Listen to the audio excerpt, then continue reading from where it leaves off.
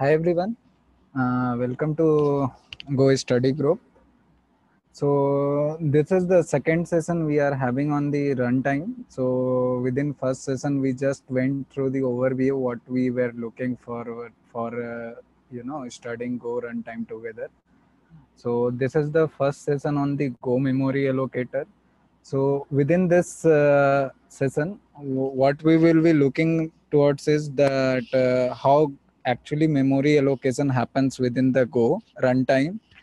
And though we will be uh, giving, uh, looking at the overview of all the, you know, data structure involved and some fundamentals required to understand those data structure and why it has been designed so. Uh, so if you have uh, any question, uh, please feel free uh, to ask at any point of time. Okay. So we all know that uh, uh, all the if uh, all the memory allocator um, means be it in any programming language has to work with the virtual space, and that is that virtual space is managed by the operating system and all those translations happens through the memory management unit. So let's see what it means me how does this you know this virtual space is not actually translated but what it means to manage the virtual space. Because when we will be discussing about go memory allocator we will be mostly dealing with this virtual space itself. So here I have given a simple, you know, uh, this is the memory cell of a sim if you look into this, here is the simple illustration of a memory cell of RAM. So what happens over here is, if you look into, this is not a RAM, but individual memory cell which stores one bit of memory for you. So what happens over here is, so greatly simplified. Uh, this is only for uh, visual purpose. This is not the actual representation or how I it claims the RAM works because it's too complicated to be you know made into such a simple diagram, even a single memory cell. So what happens uh, over there is RAM is actually composed of transistor and capacitor. So capacitor is what holds charge. So when you're single bit of memory cell is holding any charge that means for that particular bit you are storing the value 1 so for every cell there is an address line and the data lines. So whenever you need a with address line whenever current flows through the address line if that capacitor has the charge it will through that uh, it will pass through that data lines and so that it becomes the value 1 through that for that, that data line. And if it does not have the charge that's simple. It there won't be val any value. So that at most you know the simplest uh, explanation of the memory cell of the ram. And so whenever a, any cpu needs to read any value they simply place that address line bits means i need to access this bit so that uh, give me the data stored at that bit. And when we look into the further so this is how this you know a simple ram is composed. So you get individual memory cells making up constituting a ram again this is the simple you know representation only. You don't have any means this is not how it works. So what happens any so anytime you want to access any ram over here ram you need to place that address on the address line. So what it means by the, these two data buses from where the data flows and control is bus is used to control if it's read operation, write operation or any sort of operations. What we mostly deals with uh, while dealing with virtual memory is address line and addressable bits. So what happens over here? We all know that it's uh, all the physical RAM that is present on our system it's never an bit addressable or any everything is a byte addressable what it means by byte addressable is so suppose on your system if you have 32 address line or 64 bit address line archit address line what it means by each of this so how many bit it takes to form a byte. It takes 8 bit to form a byte, right? So all these 8 bits, if you look into the all these, just a second.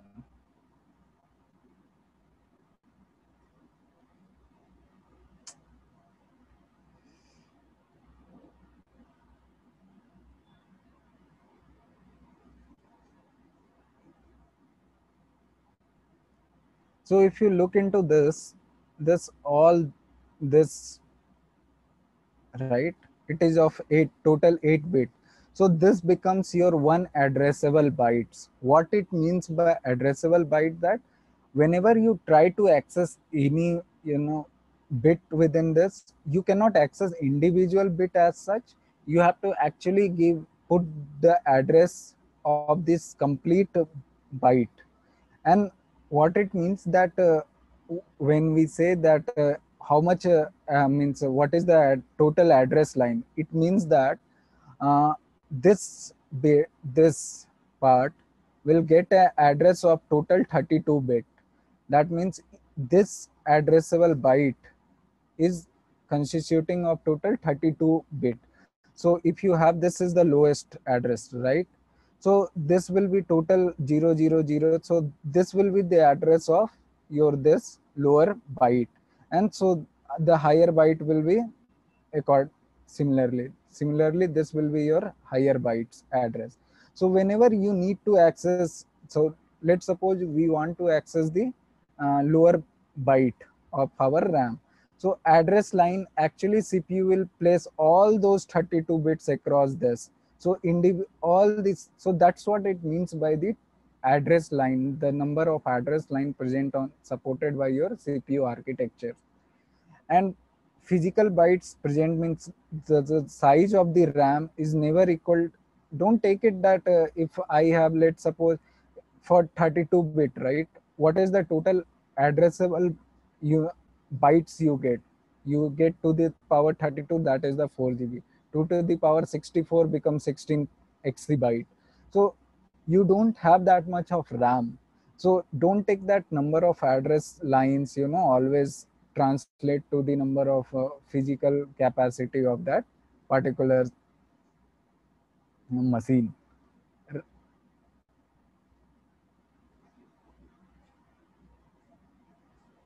So with that, uh, we will be trying to look into uh, how does a program looks into a memory? So i hope everyone is familiar with uh, this at least right? The left hand side whatever you have.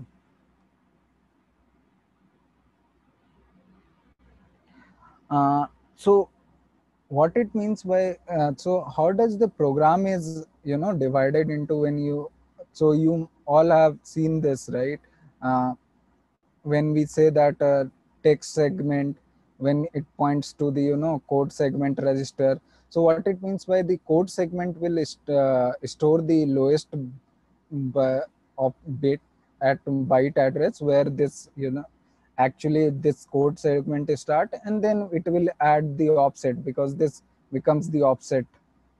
Similarly for the all the data segment and we but we are not concerned about this. We will be looking into this uh, what actually means when you try to increase the heap and when the stack you know grows down because at go we will be not be concerned with this part also right now because go has a something known as resizable stack. So go actually does not utilize as much at go runtime the stack that we here so it's the stack at the operating thread system level so do not confuse that this stack directly, you know, uh, translate into the how Go uh, to, to the Go stack. So this is one of the uh, running program from the um, from any code. If you look into that, uh, you see the heap starts at the lower address and if you see the stack starts at the higher end of the address. This is one program map from the running code. So that's what it means, right? Your heap always start from the lower segment and you know stack start from the higher segment. That we all have known uh, from so many places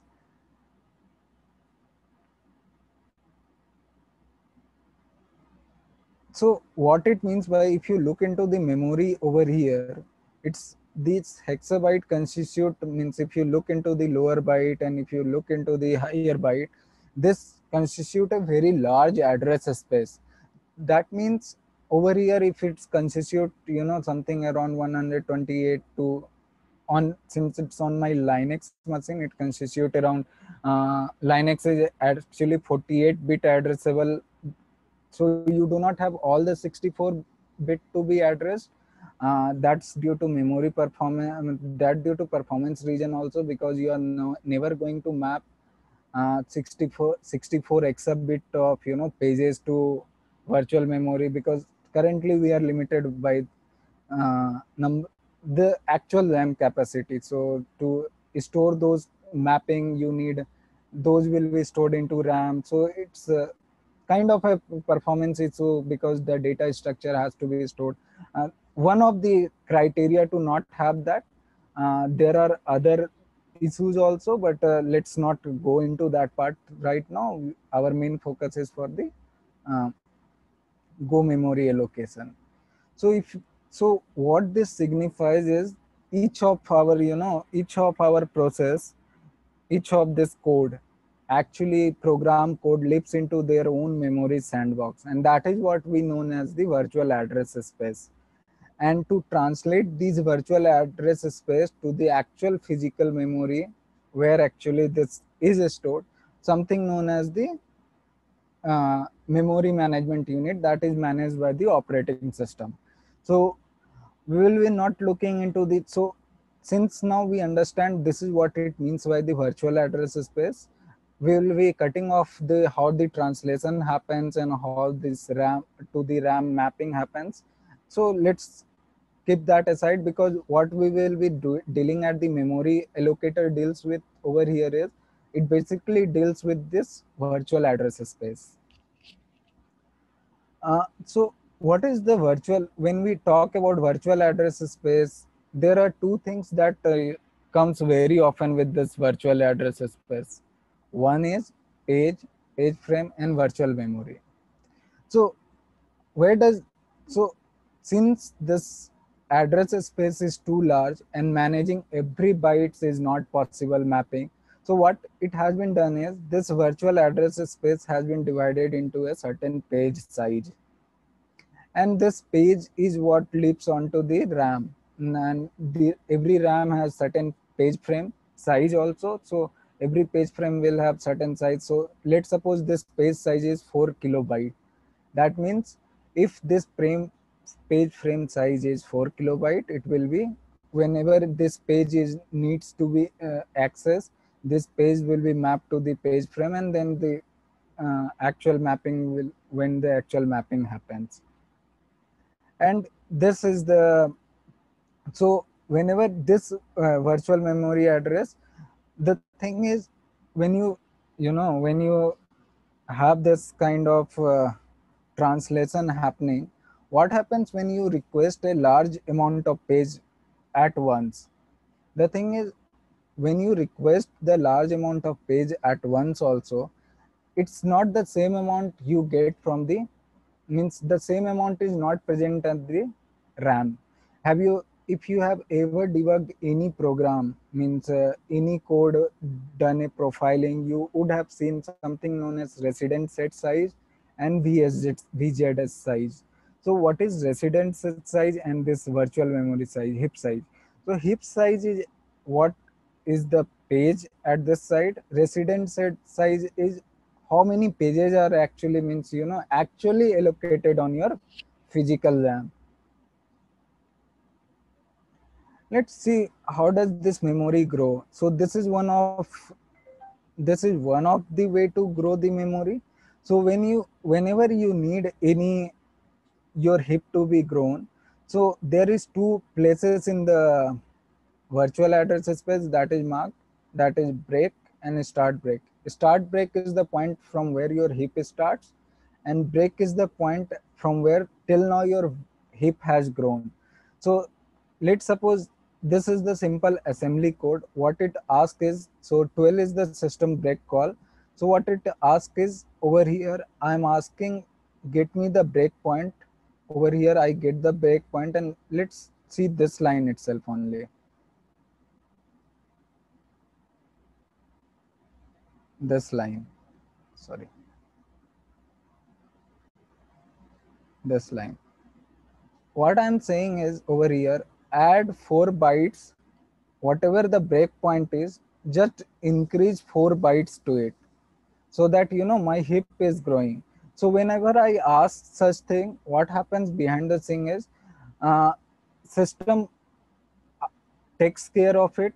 Operating system asks for the system call of a break or S break, depend upon the library you are using, and then simply increases this breakpoint so right now, suppose this is pointing here over here. I asked for to increase it to 4 bit. What will happen? It will simply increase the breakpoint till let's suppose 4 bytes constitute here.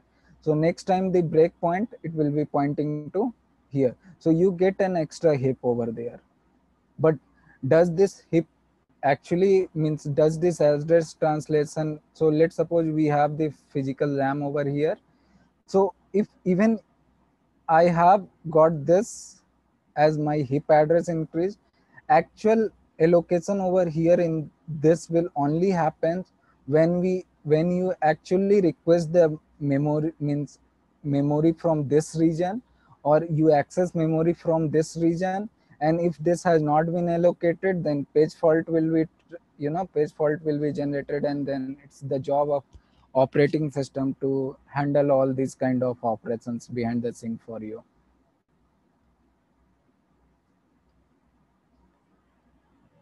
So with that in now since we know uh, how does this you know break uh, heap allocation happens and we have this overview of virtual address space let's go to the memory allocation part when so based on the discussion we had, what is the primary function of the memory allocator? We know that if there is enough space to satisfy the memory request, there will be no kernel environment because there is already the page has been already been generated and it can be handled at the runtime. If not, you do a system heap enlarge via break system call. So here I'm doing I've written break system call, but it actually break has been depre deprecated because the break does not support multi-threading. Okay, so I one thing. So let's one thing you have to be very sure since uh, even if you are dealing with any just to clarify since this breakpoint needs to be increased every time you wants to increase the heap size if the heap size is not uh, you know uh, cannot be fulfilled now you can imagine why this you know when you are doing multi-threading software you cannot request more from more than one thread to increase this breakpoint because that will invalidate the entire structure of the heap that can. So that's why when you are dealing with multi-threading software managing memory also becomes you know writing library that manages multi-threaded software um, memory is also quite a challenge so this break call is deprecated. Mostly now they use S break based upon the system and S break or mmap or newer system calls. So whenever you request this heap size, right? Break, whenever you try to increase this breakpoint, so you never get a small chunk of. So let's suppose you want to get a you know four byte or four kilobyte of memory. So system call the any memory allocator library allocation library that has been written. Because it involves a system call you have to interrupt and then go, go to system ask for this because process level breakpoint to be increased it never increases in that particular small chunk. So if you have coded in c and you have ever used malloc what it does by de by default it gives you a memory size of 128 kilobyte so if it is less than the mmap threshold it will be uh, 128 kilobyte of memory will be means breakpoint will be increased by that much amount so if now if you are trying to build your own memory allocator, there are two things you should always consider doing it. First is it has to be fast, really fast how you allocate memory because you don't want your program to, you know, wait for some second and then gets allocate memory because that defeats the purpose. Your program has to be fast. The second thing is memory fragmentation there are fragmentation both from the internal fragmentation both from the external fragmentation internal fragmentation we won't be looking into it right now because it mostly comes with how do you manage the, you, which data structure you use for the memory allocation.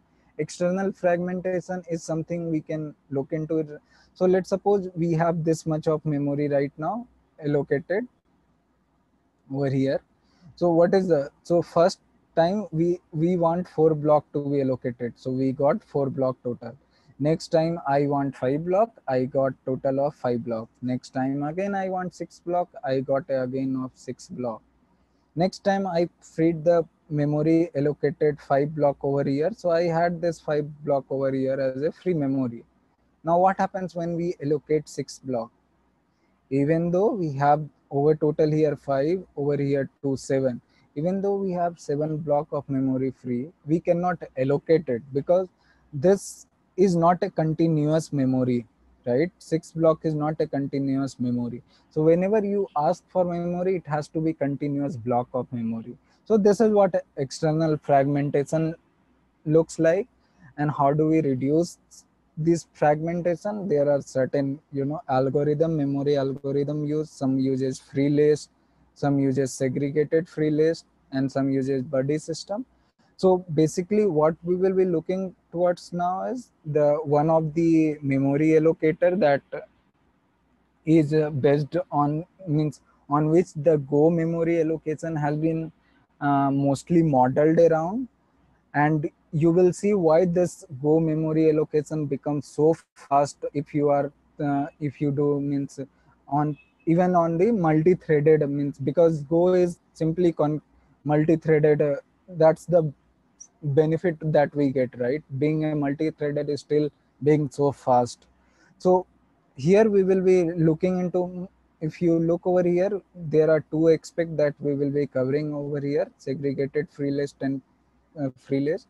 Both you can see from the uh, diagram coming forward. Buddy system is where mostly right now kernel uses the buddy system to allocate memory you can look for what to you can if you google it buddy system you can get how this allocation happen it's it, it's not much of a read but it's quite interesting too.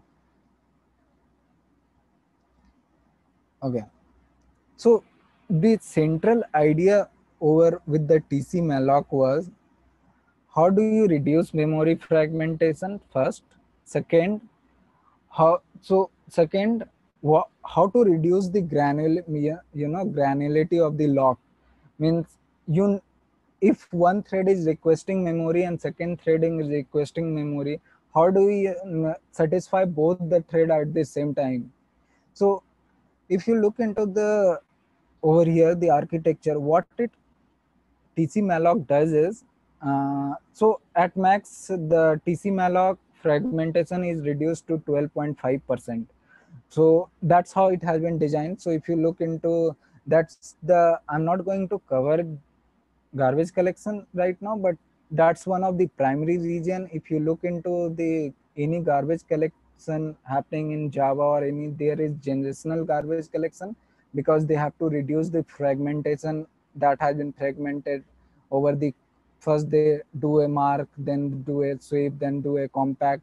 Because this memory allocation is based on the tcmalloc where memory fragmentation is very low. And so they do not follow garbage collection. That is one of the reason. There are other reasons also but since i'm not going over garbage collection in this part so let's stick to the memory allocation for now.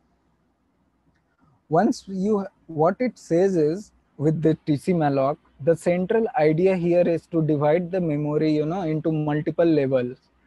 What i mean by multiple level is if you have any memory block let's suppose i have this as a memory page. I will divide it into a different blocks and then i will constitute this block.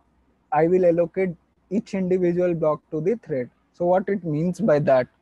So here if you see over here you get a let's suppose for our example we get a memory page of size 4 kb. What it says each page it divides into different size object. So if you, this is the free list of 8 byte object. So if you have a 4 kb page you divide that into the sorry? Anyone has any question?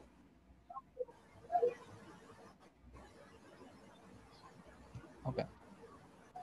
So what you do is you divide that memory block into the different you know 8 bytes of object and constitute a free list. So whenever you want to allocate any object that is up to the 8 byte or rounded to the 8 byte you only allocate from this free list. If you have 16 byte of the similar 16 byte 32 similar kind of different multiple pages size. And once you uh, guys can you put yourself on mute? Who is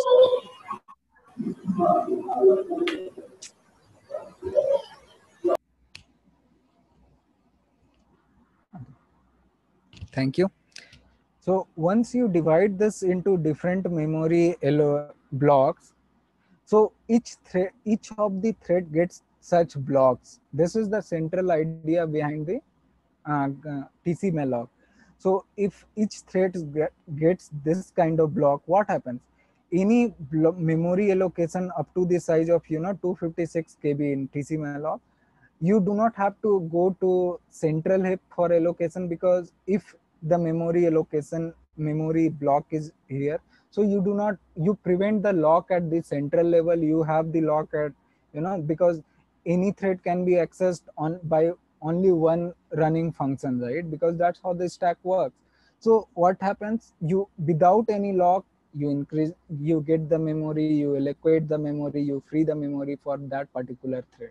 That's how the performance improved at the memo you know each thread level and any object that is so this is the when object uh, allocated is larger than the 32 kilobyte what happens? Page heap is allocated for the allocation. So this is the page heap this is one central and this is used for the span management. So basically what it says is you constitute from let's suppose this is one 4 kb page this is second 4 kilobyte page this is 3 4 kilobyte page.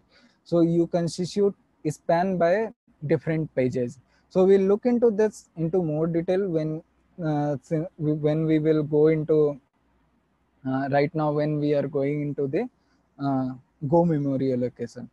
One point I would like to make it clear that even though Go memory allocation was based on TC-malloc, but it has diverged quite a bit now.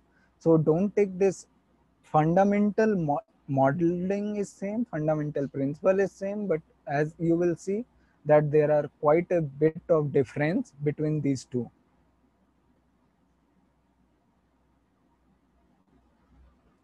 So over there we saw right that tc malloc divided into different blocks. So in go there are these are known as classes. That blocks is known as classes. So in go there are total 67 of such classes right now.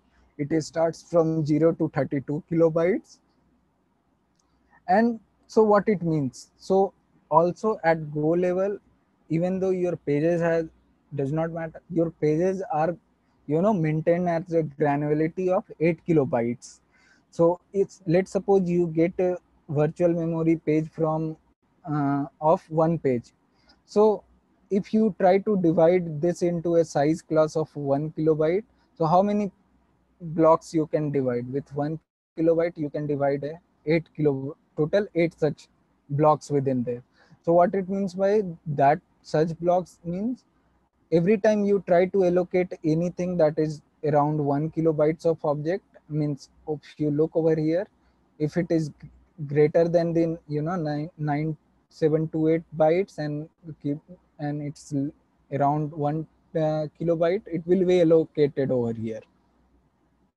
Let's since now we know the con blocks concept, we know the page concept let's see what happens over here in the go how does this mem everything gets managed so what you get at the go level is we you see here right span constitute of different pages so at go level what happens is they have a data structure known as the m span so what mspan does is it maintains what is the size class of that particular mspan because you there is the size class, right?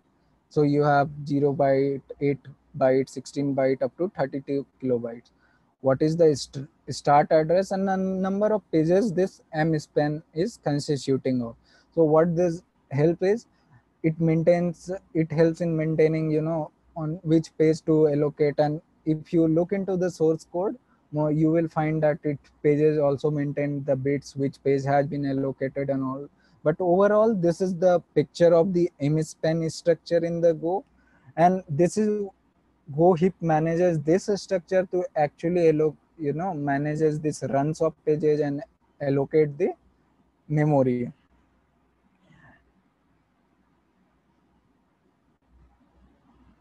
Okay.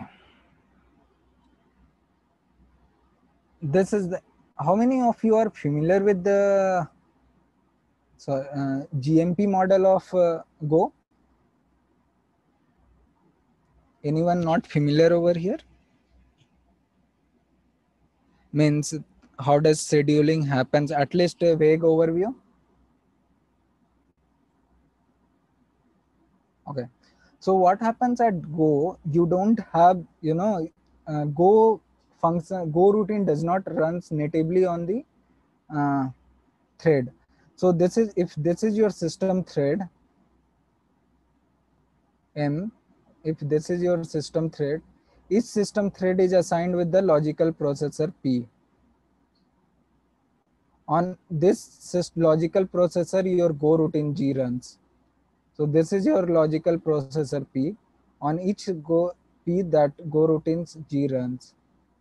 So every time you run any go routine, the go routine gets scheduled to this P. So there can, if let's suppose my system is total four C, uh, core CPU, I'm running four P. So there, but if I do not change any setting of GOMAXPROCS there will be four and such process logical processor running. So if you look into this, what over here happens is Go provides each such logical process P a local cache M cache, memory cache. So what happens if you look over here, any other Go routine running over any other G, right? This is running. So if this needs memory, if they needs memory from, you know, let's suppose M cache structure like this since each go routine has sorry it's mistake since the need g needs uh, you know memory from their uh, p. G needs memory. What it will do it will ask for the processor to get the memory from where. So once it asks the from p what this logical process will do it will get it from their own local cache like this. So any since this go routine, uh, this logical processor will have its own mcache, mcache, right? So it anytime your go routine asks for any such memory, memory allocation, it's dealt with the individual pro logical processor level. That's why the mcache structure, you know, does not without get involving any lock, you can have uh, this mcache structure coordinating for this memory but this memory size is limited to the 32 kilobytes. If you you will as you will see further if you exceed this memory size then the central locking will uh, you know the locking at the central heap comes into picture. So that's why this memory allocation is fast because it's fast because you are not dealing with any kind of lock at the logical processor level if your memory allocation is less than the less than equal to 32 kilobytes and mcache also has yeah sorry. Okay. mcache also has the stack cache when we will be seeing about probably not today's session when if we, anyone would like to take this session also on the stack memory or stack allocation they are most welcome. So we will you will see why this stack you know go offer such a, a, a sizable stack. Every time you can grow stacks such because this stack cache is also allocated from this dynamic memory allocation itself. Let's move into further. Okay also one thing is so each if you look over here there is two things mentioned. It's for the span class 0 span class 0 means this holds the memory block of 0 bytes all the if it will be class 1 means it holds the memory block divided with the 8 block of size. So any times you need 8 blocks of memory it will be allocated from this you know span class. And there is two more term no scan and scan. No scan and scan. What it means with no scan and scan is any times any object that is containing pointer will be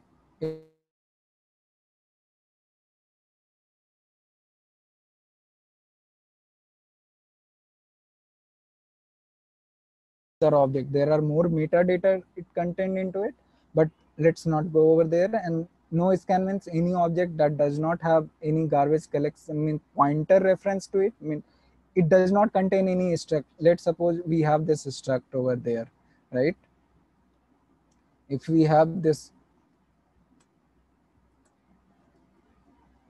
so if it contains any kind of let's suppose i'm just doing it for pointer. So this becomes the type whenever you do a, any allocation for this, if it's escape to heap means if it's escape analysis sees that this escapes to heap, you will see that this will be allocated into the scan block of the memory. If this stack will not contain any point pointer, uh, it will be allocated into the no scan of the heap. Just a you know just a overview of this and extra if you want. Just remember if you are allocating any pointer inside the heap means structure if your structure contains all the pointer at the top you you will see that if your program is you know requesting too frequently the structure allocation memory allocation you will see that the total um, latency improved. Because if you have anything on the top how garbage collection works at most is if you have any such thing at the top it every time it do it maintains a bit of uh, every word maintain a bits of 2.2 uh, bits. What it says that after this do we have to i have to scan. After this so over here it will say yes. It has to you know scan entire all the fields within that struct to get to know that okay there is pointer and after that i have to scan again and after that i have to stop. But if you just keep this structure like this and then allocate like this if you need sorry it won't compile because just for the sake if you point like this and no matter how many fields it does go during the runtime it it knows do I have to scan after that particular field? It maintains that metadata. So if you maintain such kind of structure within your point, you know, struct, and so go during the runtime will know after scanning two object itself that I do not, while the compile, I do not have to, you know, scan further down the field. So that improves the latency, but that's the another aspect of it might change in future, but right now that's how it happens. So that's just uh, another thing for now let's not go look into that. So what goes into this mcache any time you have a object size uh, up to 32 kilobytes uh, it goes into the mcache so there are also a tiny allocator that it serves the purpose of allocating anything less than the 16 byte and then it does a you know certain you know let's suppose just a pointer. I'm not going to deal how this memory allocation happens within individual span classes. What are the criteria? Let's just figure it out that this is how the mcache looks like right now. So there is one pretty valid question, right? What happens when this M span, there is no more such M span blocks left over here. So what Go does is it also maintains a M central and from there M span of the required classes taken if there is no further this free. So let's suppose you allocated all the same span of that required size from all the pages are done. So what happens, it will require the M span from that particular M central. How does it further improve? The, you know, Go memory allocation. If you look, this is the M central structure. If you look into this M central structure, it maintains two lists. One is M non-empty list, one is empty list. Non-empty list means what? That the, that M span does not have any free object means it is cached in the m cache structure and then empty list means uh, list of free sorry empty list means that it has okay let's do it again. When we say empty mspan list it maintains the list of no free object means this mspan does not have any free object or any mspan from this has been put into the cache of mcache when we say non-empty means the entire there is no you know there is no object allocated within this m span one thing this m span m central structure is shared by the all the p's. What i mean when we say shared we will see into this. Uh, let's there is one more thing if you look into here. M central has a lock. We'll see what what you know value does it brings and how it helps later. So if you have this lock what happens even when this m span list is empty then it has to go and ask for the to the heap to get the required size class this is your m heap actually look like so mheap is what actually manages your virtual address space. It's only one in the uh, entire structure. So there is means entire runtime has only one m heap So if you look into M central, when I told that each M central has lock itself, and then m heap has one global lock. So anytime you try to allocate memory greater than the 32 kilobytes, it will be directly allocated into the m heap structure and since while allocating during the m heap structure you have to it has to for each allocation it has to go through lock. So only one p can access the mheap structure during any point of time. And this for object greater than the 32 kilobytes. Now let's into the see into the m central structure again. So if you look into each m central structure has one individual lock itself right? So every time you try to you know get any m span from for that particular size from that particular size from the m central it will be lock will be applied to that particular m span m central structure itself. So go heap maintains this with the different span size we have seen right? No scan scan and then total of so go maintain a central structure of total one such span size with total 134 such structure so you get a total 134 such a structure. So if your p let's suppose my logical processor right?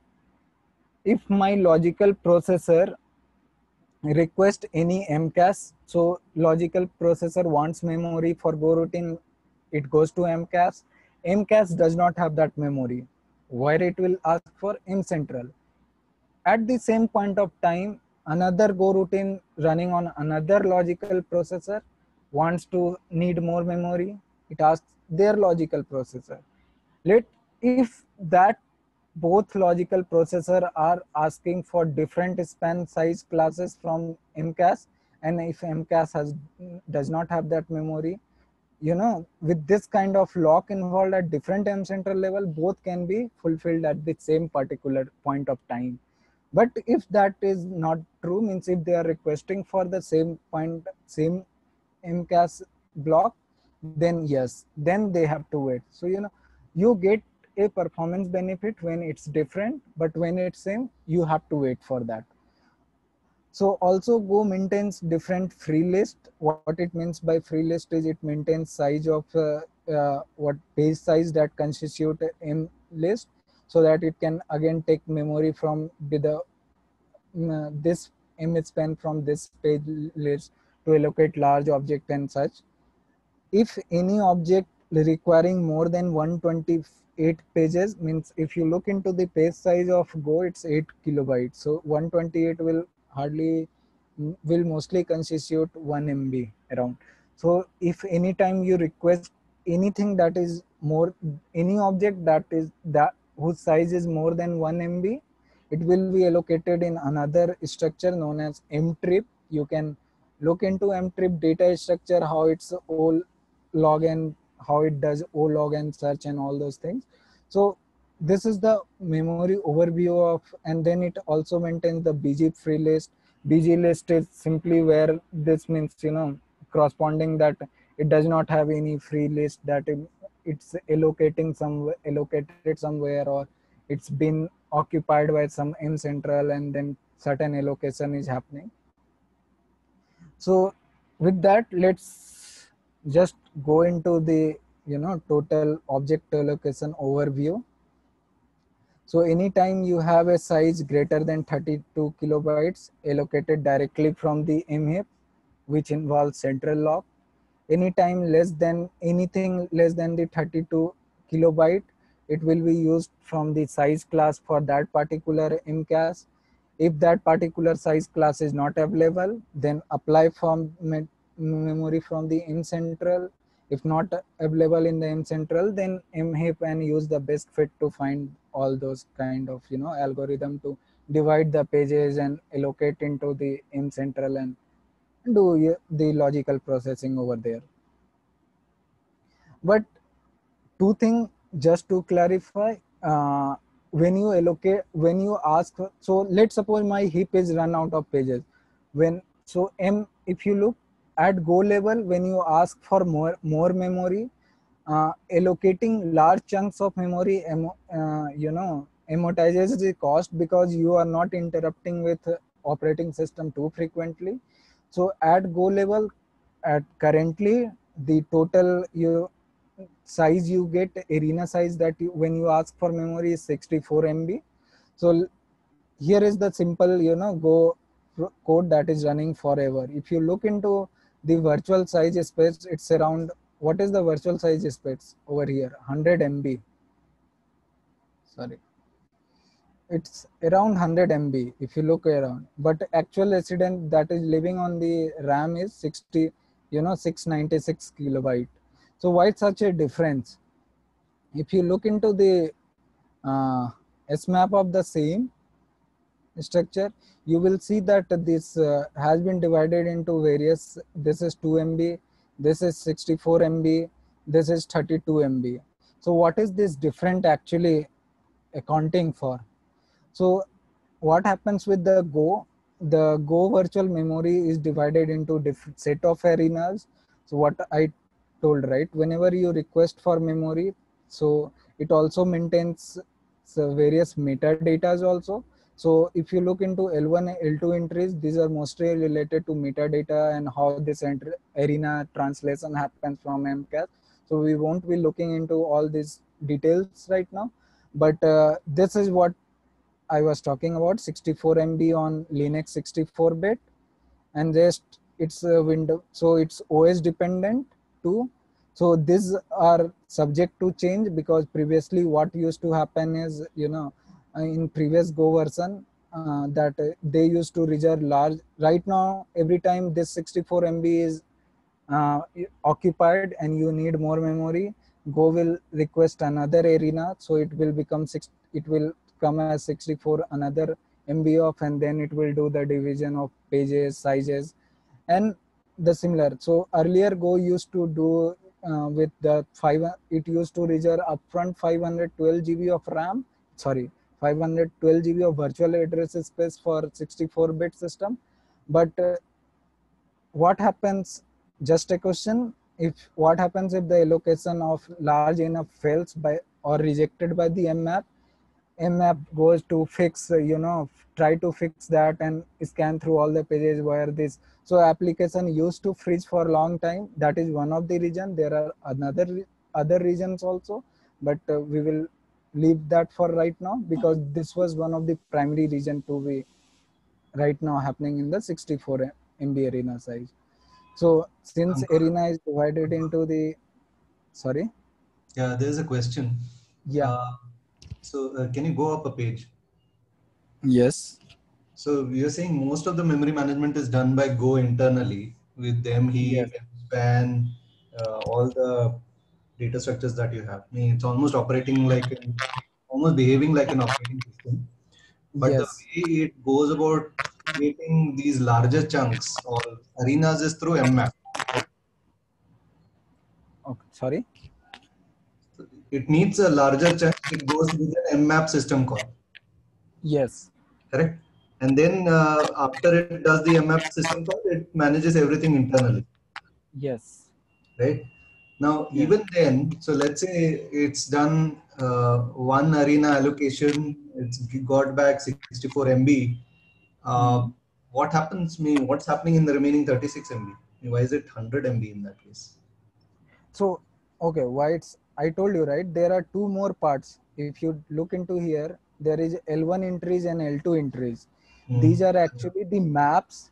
L2 entries are actually the maps that contains the metadata for each MS Got it, got it, got it, got it. Okay, right. So because this has to deal with the translation unit, so I left it because this has nothing to got to do with the allocation. This is Correct. mostly how this arena translation. These are all allocated off it. Okay. So you don't have to worry about while doing the allocation right now. Right. This will It's- mostly comes into picture when you are doing garbage collection. in one go. So Yes. it's blocking 64 MB and it uses uses 32 MB for metadata related to Yes. that, and then you have the rest of the Go memory allocation starting from that point, right? Yes. So this 32 MB is not completely occupied for this. It's uh, you know they for another because the arena is you arena is continuous memory. So for another continuous memory, if there is a space, it will try to allocate that same metadata over here because it's simply a map. It's do a translation for you from which MS span this arena belongs to, and then all those things. If you look into garbage collection, this will become more clearer. Anyway, this will be constant, right? Whenever you start, 32 plus 64 will be constant across programs, right? Minimum. yes for yes for this is for the current version 11.5 and that too on the 64 bit if you look into windows it's different Correct. Yeah. Windows, it's very low. Very interesting. yes yes because the they cannot manage such a large uh, memory allocation at large application freezes over windows Okay. okay. So this is what your arena looks like. So i have a single arena. Each arena will be divided into a page of 8 kilobytes. So there will be total 800000 blocks such blocks. And means right now but uh, don't take this number whatever is shown here. It's subject to change any time because it's constantly they are trying to improve what is the best way to deal it with such arena allocation. So just keep looking for source code if you want to what is the current size they are supporting. And with that this is the comp if i have to give you a lit overview this is what so you have a mcache of each per p that maintains a block for you know each span class till 66 and anything that is less than the 32 kilobytes get allocated from here.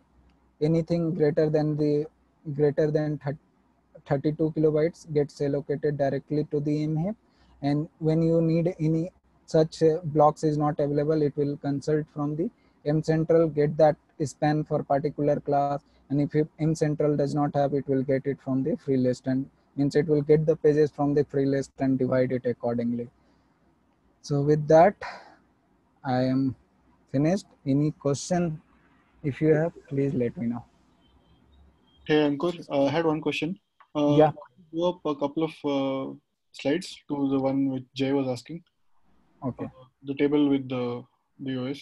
Yeah. yes So do you do you have a link from where you got this data? Um, just interested in seeing uh, how it is for other architectures and. uh, runtime if you look into source code runtime malloc.go i believe. I will ping you. If not there i will ping you. Yeah, maybe you can put that link in uh, the issue tracker. Uh, okay let uh, me just go. I think it's there. Let me just go over there once okay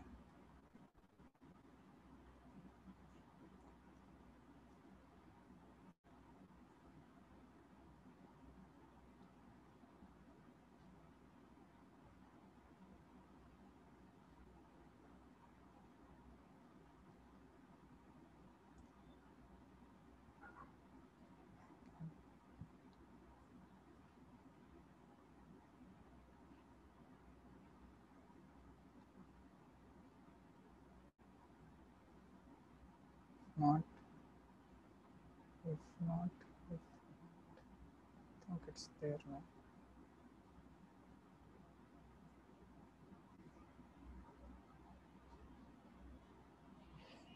mentions about L2 map okay I will okay here it is. It might be here itself. Mm, yep here it is so if you look into they have had AIX support now gets 256 MB, right? So that's what I'm saying. It keeps changing. They are changing it. Their address bits also keep changing. Right now they are supporting only 48 bits, but for AIX they are supporting 60 bits because the mapping it has to be this bits address bits support has to come from hardware level also apart from that software AIX is supporting 64 bits. So, you know, this difference will be pretty much, this keeps changing. Don't means, you know, just blindly follow that number I have given you. If you want, look over here. Yeah. Thanks, man. Yeah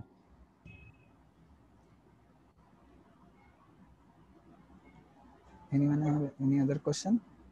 But for an end user, it shouldn't matter, right? Because these are internals, optimization internals. Even the Yes. metadata and yeah.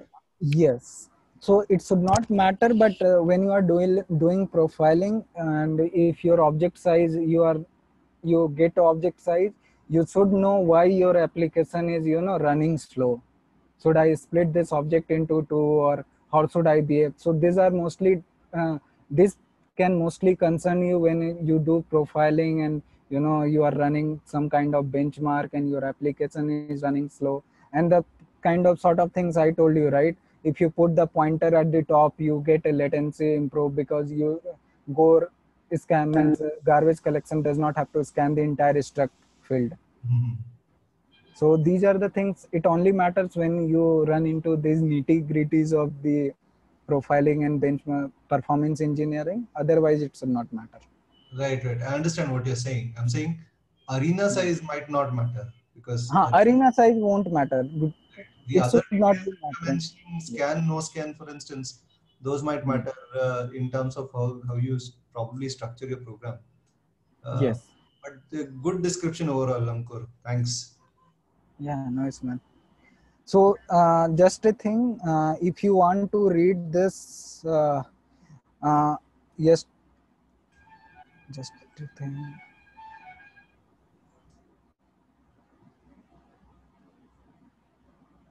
So if you want to read the same, you have this. I will share the link.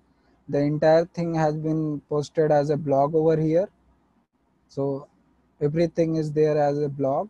So you can read more about it and it's everything is there if you feel feel free to ping me anytime if you have any doubts or any kind of you know queries over this.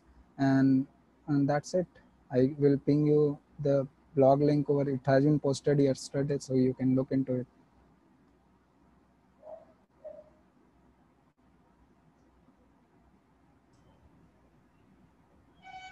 Yep that's from my side. Anything anyone has to say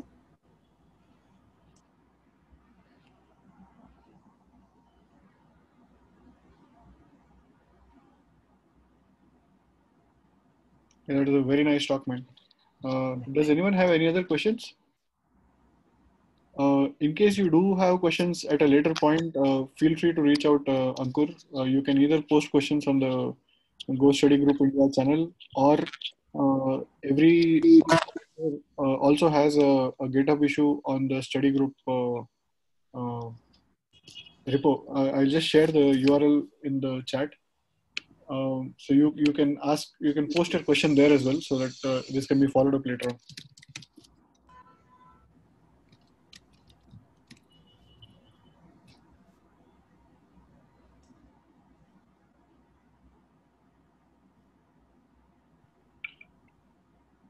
okay then i think if no one has question then we can drop off Yeah. All right. Thanks everyone for joining. yeah thank you everyone Thanks. Bye bye. Bye.